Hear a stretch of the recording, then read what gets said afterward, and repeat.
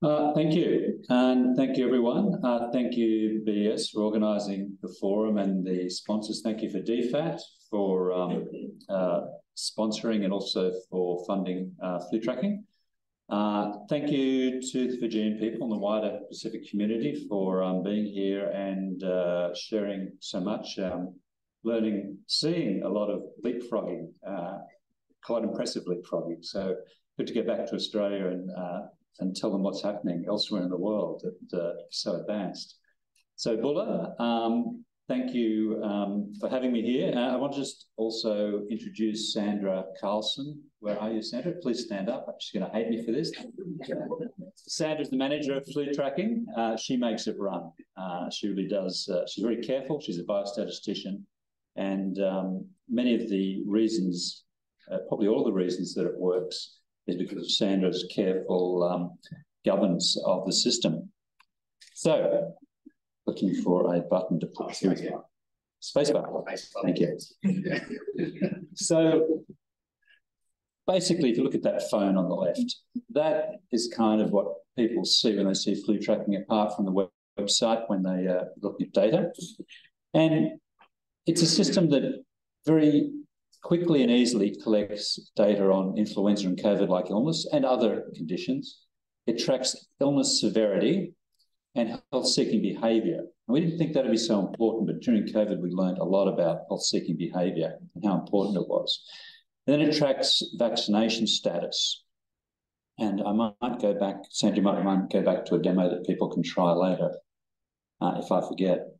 So um, it's syndromic surveillance. It's participatory syndromic surveillance because it is um, something that people do in the palm of their hands with a smartphone uh, or on a laptop or on a PC. And syndromic surveillance is about symptoms or symptom complexes, symptom clusters, not laboratory results. So we can't be sure always that someone has the condition that we're hoping to find. Um, and but it can be complement laboratory data. So even in Australia, we have great laboratory services that are uh, free and quite available. Sometimes they don't work so well uh, in times of epidemics because they go up and down in their, their service. And this syndromic surveillance going to the grassroots community level, where anyone can do it, has this constancy factor. People answer the same every week if they've had cough or fever. So it can give us a, uh, another perspective, another reality check on what's happening at a grassroots level. And of course, syndromic surveillance has been recommended by WHO for all countries to make a complete, cohesive um, a suite of responses to pandemics to have a really good response. They can look at from many different angles. So flu tracking is now in uh, four countries, uh, started in Australia in 2006. Um, it's one of the largest uh, surveillance systems in the world with, I think, about 150,000 in our peak week during um, COVID. Uh, and typically 100,000 across the four countries. It takes less than 30 seconds, and that's been one of the big um, reasons it's done so well. There are other systems elsewhere in the world that are much longer, and their participation week to week and over years is much less. And um, we'd love to add questions. You know, every question we add, we could lose 15% of respondents. Um, and acknowledge DFAT uh, for supporting establishment of uh, flu track in the Pacific. So where do flu trackers come from? What's this in Australia? And of course, this would change in other countries. We put out media releases, newspaper articles, especially the online newspaper articles, because people can just click straight through to the join page. Um, radio doesn't work so well. We've got to remember it. Um, one thing that did work well, we got about 20,000 people join when our Deputy Chief Health Officer suggested that people join in the middle of the pandemic. We focus on um, reaching out to large institutions like universities, large workplaces where there are many people sitting at computers where they can get an email, um, such as the email um, example down here. Um, they can get an invitation to just click on that and join. Takes about mm, probably less than a minute to join. This is the sign up page. We don't ask much, just the very bare minimum so that we can get people onboarded pretty quick. and also acknowledging that people don't want to share too much in terms of um, protecting their privacy and confidentiality. Um, you can may be able to see, need to do a log scale here, but in 2006, we started with 400 people just in our local health district. And then it grew quite rapidly. 2009 was a big increase because of the H1N1 influenza pandemic. And of course, with the pandemic of COVID-19, it's, it's dramatically increased. And participation is good. 60% of participants complete 90% plus of weekly surveys. So we do get good week to week um, participation. Just to show you how rapid the uh, the uh, responses are. This, let's make that a point. Is the pointer? Maybe it's not a pointer. That's right. This is a pointer. we send the email out at one o'clock in the morning, and you can see there's people awake at that time, and they've nothing better to do than do flu tracking. So it comes through, but here, look at this, between eight and nine, 12,000 people respond to the survey. So it's quite it's quite good for getting a very rapid response on. We don't need a hugely rapid response for flu tracking, but for other things we might uh, in emergencies. Oh, someone's got a thank you. Thanks. I thought my finger had started. Uh... so, um, yeah, so it can be quite rapid. And basically by Tuesday, sent it out Monday morning. By Tuesday, we've got a very good idea of what's going on. So that's, you know, from basically the survey finishes on data to Sunday. And Tuesday, we can put out a report that gives a pretty good idea of what's happening. Thursday, we do a more complete report, but it pretty much is clear by the Tuesday, a few days after the um, week of interest. So, second, ah, little, thank you. So this is the kind of a pyramid, surveillance pyramid that we talk about um, from uh, mildest disease down to more severe uh, disease. And typically health facilities pick up, you know, the higher end of the mild disease, moderate, and then severe illness gets picked up in the hospitalised and of course the death registration. Um, so this is at the bottom of the pyramid is these undetected community cases, the people who don't appear on any data system. And they can provide a lot of information because they're an important part of the pyramid. It gives us the ratio, the ratio of these people down here to these people and uh, hospitalised and health facilities. It's really important to see how that's how that changes with different diseases and over time. And that's where flu tracking can give us this, because we can we know if people have gone to a health facility, we know if they're hospitalised, um, because they report on that, of course. So how can flu tracking help with some common issues? Oh, that's interesting. We're throwing out, out of order. So, okay. So there's often missing data in health facility syndromic surveillance. Often competing priorities, staff shortages, all lead to aberrations in data and just changes in training, changes in motivation. Uh, so flu tracking can provide consistent levels of community level surveillance regardless of what's happening in the health facilities. And we'll show you some slides on how this changes during emergencies, during pandemics. So syndromic surveillance can be a burden on busy health facility and public health staff. And because this is direct, uh, direct to the community, um, there's no burden on staff, either at the department level or at the clinic level. And if there's changes in our case definition or questions, we don't need to go and retrain people at a clinic on, on how to uh, complete the survey. So it can often be difficult to rapidly add a new syndrome for monitoring at health facility level, but we can add a new syndrome in a matter of days to about two weeks for a, very big change uh, in this system. And I'll show you some examples where we've um, where we've done that. So just to talk you through what we saw during the pandemic of COVID-19, you can see this is our surveillance uh, in uh, October uh, through to October of uh, 2019 before the pandemic. And we normally finish in October. It's a, we usually do just do the winter flus and URTIs. So then we started um, again in uh, late March of 2020 uh, because of the pandemic. Uh, we could see it coming, as everyone could. And you could see what happened was that the basic cough and fever rates in the community just dropped as social distancing and other, and particularly for Australia, an island nation, being able to close uh, entry, basically stopped all the influenza that would normally come, and other URTIs that would come in um, through the borders. Dropped very low, very low through most of the pandemic, as you know. Um, we had, as, as, many of your countries did, had quite uh, stringent controls in place. And then uh, we didn't really see much of a rise during the pandemic. Um, it was actually relatively small. But then we saw the BA1 Omicron surge come here, and then the BA2, and then a combined influenza and COVID surge coming in 2022, and then the mixed, as they called it, the often uh, Omicron soup coming in later, October through December, and then the subsequent um, subsequent iterations this year. And we're now seeing a drop, which is good. So this is from the self-reported testing behaviour. You can see here that um, this is the percentage of participants reported uh, getting tested. And in the early days, this was really useful to us because government thought that we we're getting all of the cases, you know, that we're picking up up to 85% of COVID cases. And what this told us was if only 40 to 50% in the early days were actually being tested, we couldn't possibly be getting 85% of cases. And this is flu trackers tend to be highly health literate, highly vaccinated, so highly likely to get tested. So this is probably best case scenario we're seeing here.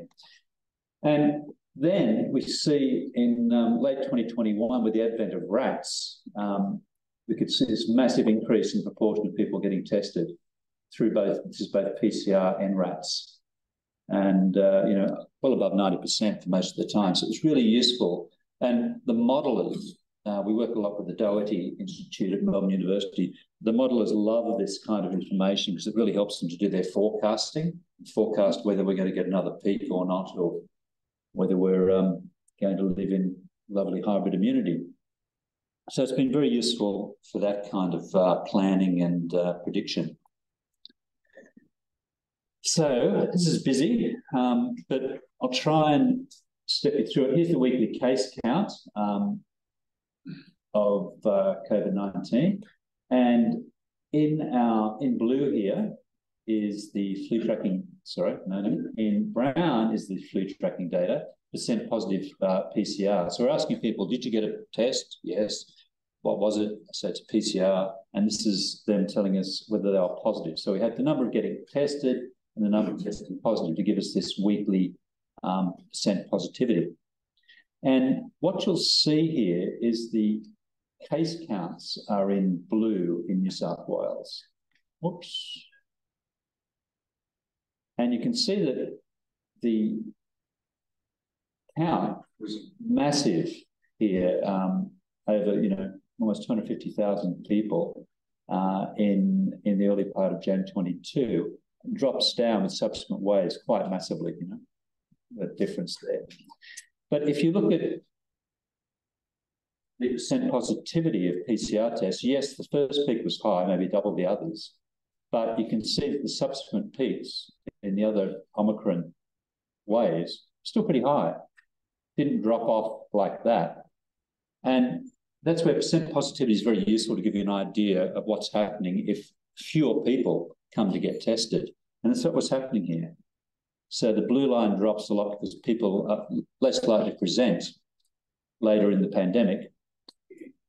And so just to show you, flu tracking was actually quite useful um, in its percent positivity, being able to give a very similar data source to the percent positivity from labs, showing that the subsequent uh, pandemic strains are still pretty, uh, pretty hard hitting. And so that's, this could be useful in countries that actually don't have, um, say, widespread laboratory data, and particularly if they don't have percent positivity to show the impact of decreased testing. Okay, from the 2009 pandemic, going back, way back.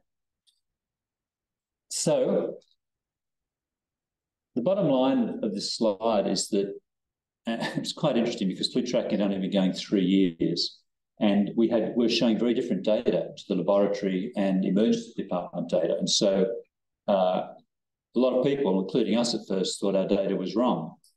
But it was actually right. And what happened was, um, we look at flu tracking data first of all. Here was 2007. It was a very big flu year for us. Here's 2008, a very mild flu year. Here's 2009. And it didn't feel as bad as 2007 in terms of, um, in terms of here on this uh, axis, the uh, cough rate, the percent of people with cough. We were really surprised. Like, how can this be? We've got this massive pandemic. The ICUs are full, but we're saying it's not, not as bad. If you look at the emergency department data here in brown, the massive increase compared to 2007 massive increase. And in the green is lab notifications, massive increase in flu. Anyone think why that might be so different? Why might it be so different? I'll answer. Shall I answer? Okay. so, um, if basically everyone who had a cough or fever was told to go and get tested, you know, and people were panicky. There were signs outside, you know, the newspapers were saying 40,000 Australians to die. So people were very, very nervous. Um, and so they got increased testing. And so these systems did report what was happening, but it gave an uneven picture. So because we could see that, all right, there is, um, it's a big flu year, no doubt, but the ICUs are full. So we this led to a study where we compared the rate of ICU admission among people who had seasonal flu, H3N2, compared to those who had this new pandemic strain, H1N1. And we found that there was a fourfold increase likelihood of ending up in ICU with the pandemic strain. So this is what, trying to figure out what this meant led to that study and was quite helpful.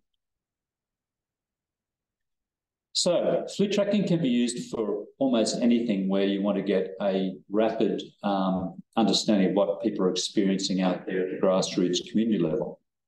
And in the 2019-20 Australian East Coast bushfires, um, everyone was wondering what the impact was, and it was hard to understand it.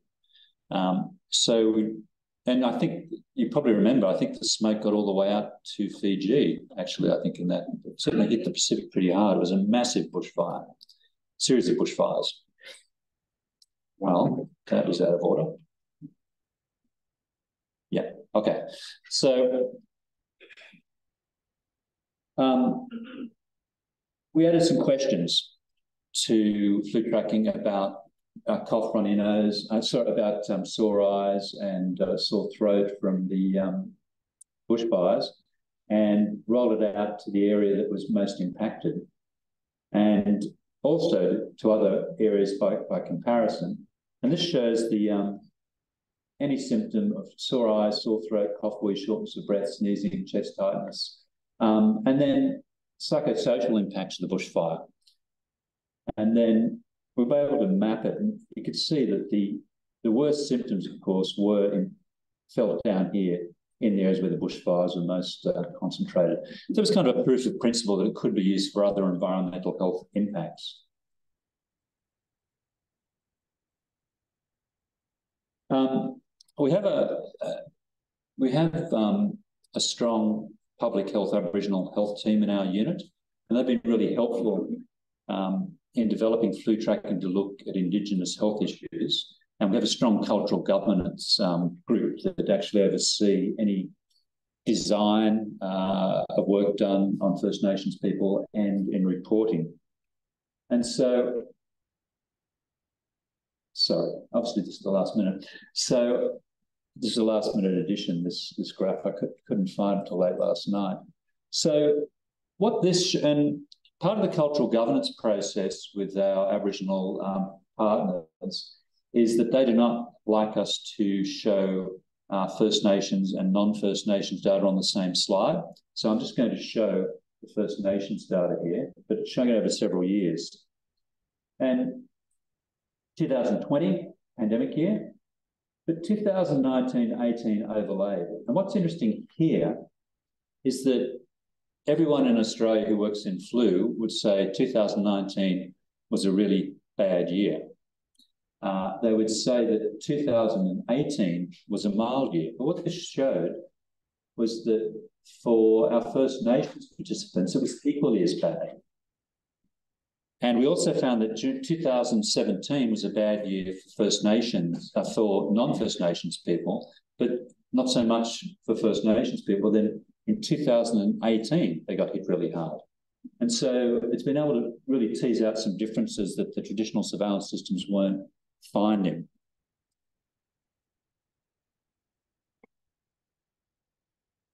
So this is something we're exploring now, as, as you all know, with uh, uh, climate change, there are some really huge impacts, uh, particularly in some of the megacities, uh, in cities that have a lot of concrete, black surfaces uh, that absorb heat and then radiate it locally. And um, it's expected that uh, temperatures above 50 degrees will not be uncommon in many of these places going forward every year. And there'll be massive um, death toll associated with it. So we're exploring with a group um, the idea of a heat tracker reduction because while there's meteorological predictions, they can predict the weather, the humidity, the, the experience that should be there. It's unclear yet how that really relates to the lived experience of someone, uh, particularly living for us in Western Sydney in this zone where the heat is concentrated and radiated, a lot of black roofs, lots of black bitumen. And so the idea is that we will survey them occasionally, but then during heat waves, survey them regularly and understand do you have air conditioning? Do you have fans? Do you have insulation under the roof? And then indicators of what the lived experience was like, you know, did, did you sit in a bath all day to keep dry? Did you keep cool? Uh, did you miss sleep this week uh, due to the heat? So that's something that's emerging. And at the moment, we're currently um, we have funding for um, Fiji from DFAT, and this is currently undergoing review by Fiji Cabinet to see if it's suitable and appropriate for Fiji. The idea of the rollout um, at Fiji or other countries, it's no extra routine work for the health department or health staff clinics.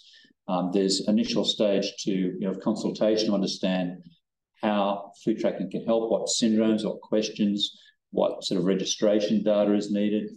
And the, the syndromes, you know, are basically whatever you can ask on a survey, whether it's ILI, the DLI, complex, watery, bloody, diarrhea, um, any syndrome really. Um, now to show you what, um, show Alt tab? Yeah, yeah, drag it across you. This is a a visualization many seen and known well. Unfortunately, it's just for Australia at this time with tracking, but this is the Tupaia interface. Screen. Here you go. Great, thank you. So, wow. So basically, can I, I can control plus to zoom, I guess. Sure. So this is the interface that uh, countries will have uh, for using uh, flu tracking through Tupaia.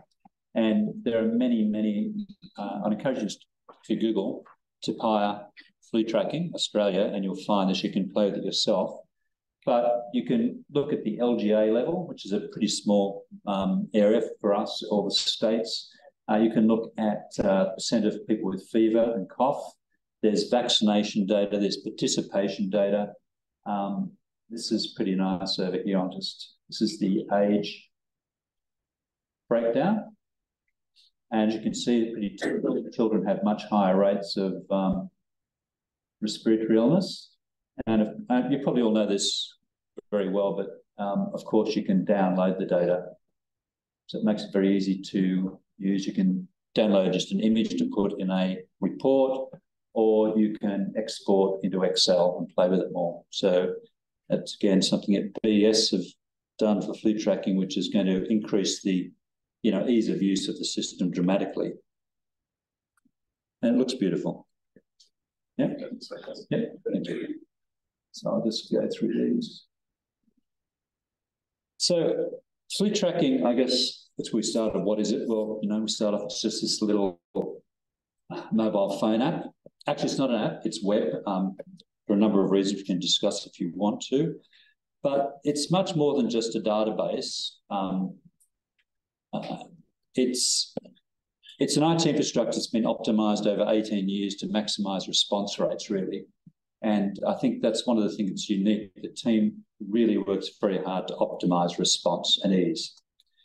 And the question development process uh, and testing, a lot of testing has been put together to maximize response rates. And the recruitment process has been optimized again over the last 18 years to really increase and it's not just to get new people in, it's not to lose people. So we have lots of ways they can opt out, you know. You, do you want to take some time off? Do you want to come back next year? Um, that sort of thing to optimize uh, the experience. This is just a little example of how we optimize questions. So uh, it's a small team, but um, we do this with our questions. We're going to introduce a new question. We workshop with a lot of people. This is just a um, a message that we, we're going to put in an email reporting back to our participants. They get a weekly report every week, but occasionally we um, give another short message. So we'll write out these five short messages that we'll we think you know would be good to give back, and then three of us will take three or four forms and we'll go around and talk to three or four people. So I have you know 12 sponsors internally. We ask them to rank them. What which of these short messages do you think our flu trackers would find most um, motivating. And so then we'll come back, compare notes, and pick the one that um, ranked best. Which, yeah, that's how we. So we do that on lots of um, questions. We also split test lots of things, and um, with internet marketing, this is done a lot. You know, you might go to a website. One person will be shown one headline, someone will be shown something else, different offers, different email subject headings. Um, and so we do this a lot because when you've got thousands of people, you can just test with, you know, 500 here, 500 there, and, and just optimize your responses. So here's one split test we did. We used to just say, and one of our best recruitment methods is asking other flu trackers to recruit other, other people that they know. So we used to ask them to invite their friends. And uh, we thought, well, and we talked to people about their experience, and you know they they said, you know, um, maybe you should tell us to invite a particular number of friends, so we have a target. I thought, okay, let's ask them to invite five friends. So we did this, and then after a while, we heard someone. Oh, I actually won't tell you too much. I'll just get you to guess. So we then split test. We sent emails saying, please invite your friends. Another one saying, please invite three friends. Another one, invite five friends. Which one do you think recruited the most people? Three. Who says five? No one says five. Who says friends? Thank you. Thank you. Okay. So let's see.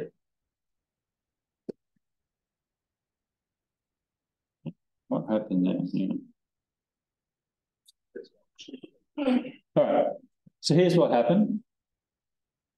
Um, basically, this led to a 7.9%, our usual questionnaire join rate from the emails that went out.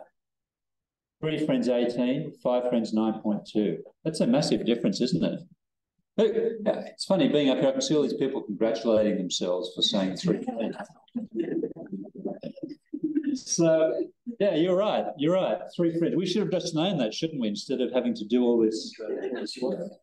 So um, it was quite interesting uh, to see that. And then you talk to people and they go, they they give us feedback. They go, yeah, like five friends was kind of paralyzing. I had to think of so going through so many people. Three friends was easier. All right. So then we thought, well, should we stop there? We invite three friends or two friends? What do you, which one do you think went best? Who thinks two friends? I'm going to make you hold your hands up can. three, three friends. And two friends? Okay. So, they, so one everyone, the people who said two friends want to put two arms up now. The people who said three friends want you to put three arms. All right. So Here we go. Two friends slightly better, yeah. So let's you know, much easier. And then when I have to think of two friends, I think of the best two friends that will answer the survey. So that's we think that's really important. They really think through who do I know who will answer this survey, and, and so they're more highly selected.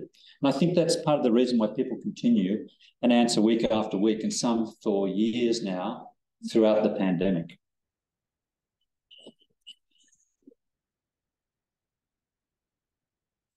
And these are some, um, you know, why do they keep doing? Well, here's some of the messages we get, you know, on our social media. And we actually did a survey of people asking them why they did it. And the first thing they, they stopped and said was, actually, I don't know often, you know, that was a hard question to answer. But when you push them, they kind of said, well, it only takes 20 seconds and I feel like I've done something good medical research on a Monday morning. So I think that's what we align. A lot of people talk about rewarding people for participation, but I think it's important to reward them perfectly aligned with their motivation. Their motivation is to help medical research, public health research, so the best you can do is tell them what they're doing in terms of the impact they're making. Um, some systems have tried giving iPads out and things like that to groups that recruit well, but after they've got the iPad, they often don't answer the survey anymore.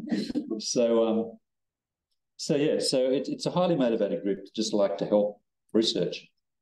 So in summary, this is a low maintenance, stable and flexible syndromic surveillance system. It reaches beyond the traditional health facility surveillance it has automated reporting. It's got great visualization through Tupaia and much more tables download. It's flexible for new syndromes. And if you want to discuss further, please contact me on that email address or flu tracking website. And again, thank you um, particularly to Sandra, the manager's flu tracking, um, to our small team and the uh, tens of thousands of people who respond to flu tracking every week. Thank you.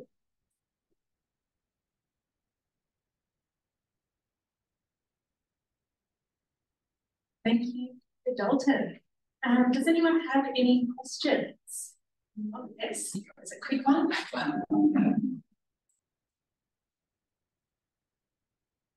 Um, you didn't talk about um, the demographic of the of the cohort that fill it in. Do you, do you have some analysis on age and gender? We do, yeah. Because yeah. obviously you, you mentioned there's sort of like going to be a highly higher educated cohort, but you know, do you have good geographic spread? Yeah, good question.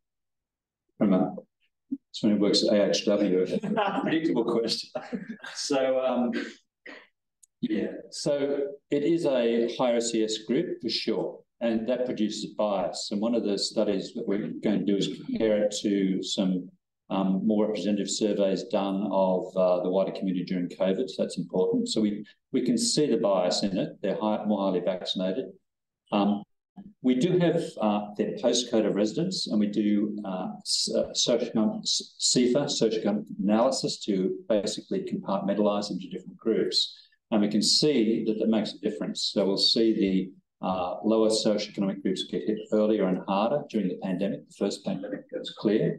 Um, and uh, gender-wise, there are more females. Uh, the males tend to report for a longer period of time. We last did the analysis, which surprised us. Um, we we're down about 10 to 15% in age distribution in the elderly and the young. And the young are constant challenge because if you want an under five year old, you've got to recruit every, you know, quite regularly to keep the young children coming through. But, so that is a challenge. Any other questions?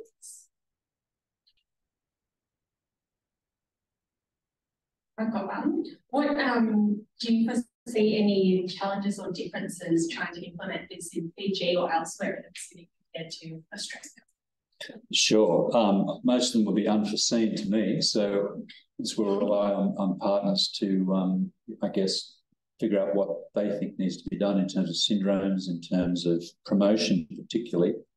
Um, what channels would be best to promote it through, uh, what conditions people will be motivated and interested in to report.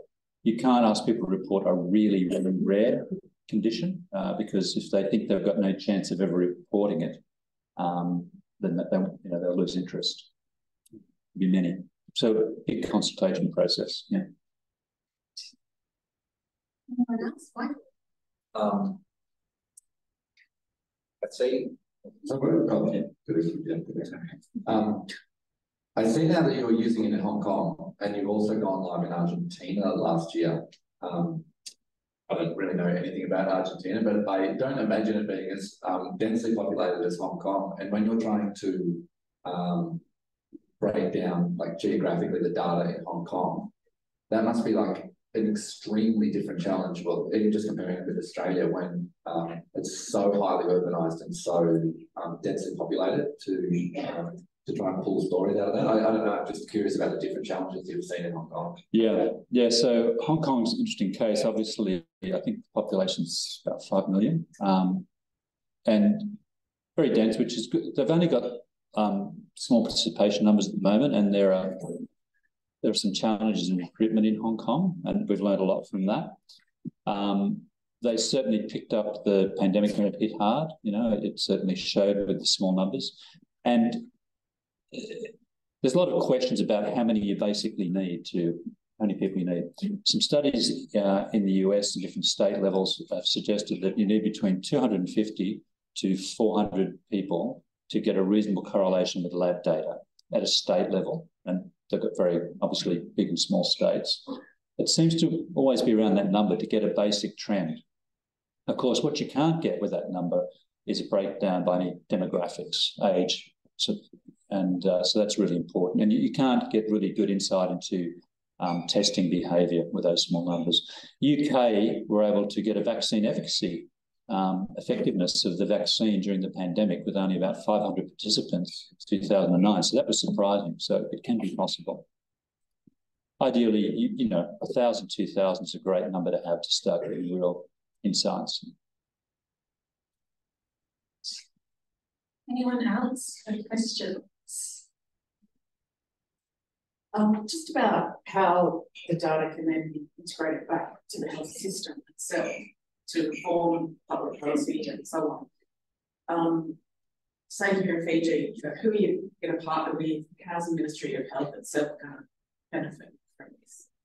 Yeah, look, I think in terms of how the partnership will work, it's very early days. I think it's just going through cabinet for um, uh, review at the moment, so that's still to be, um, I guess, explored. Um, I, it'll be a typical prioritisation process on part of uh, health department to see what their priorities are, and then I think map to what flu tracking can offer. Um, it, it may fill gaps if there are gaps. It may be complementary so that there's a consistency that can help um, with the interpretation of laboratory and other syndromic data. Should that fall over or should that change sometime? And it may change for a good reason, like there's more laboratory capacity and so the tests go up. This can provide particularly a baseline data source.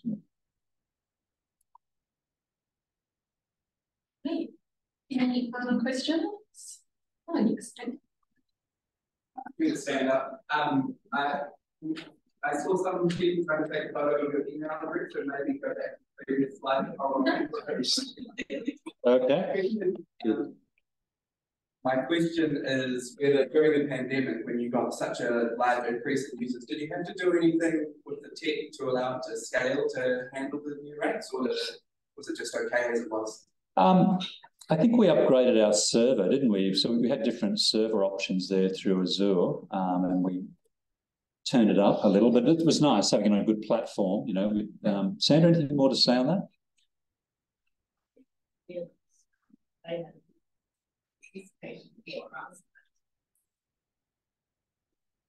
need to be upgraded and once we have that extra twenty thousand participants coming to Australia, it was completely fine, so. Yeah. It's nice having it on the um, you know, Microsoft Azure system that is scalable so easily just by saying, yes, we'll pay a little bit more each month. Yeah. Any other questions? Okay then, well, thank you, Dr. Dalton. Thank you.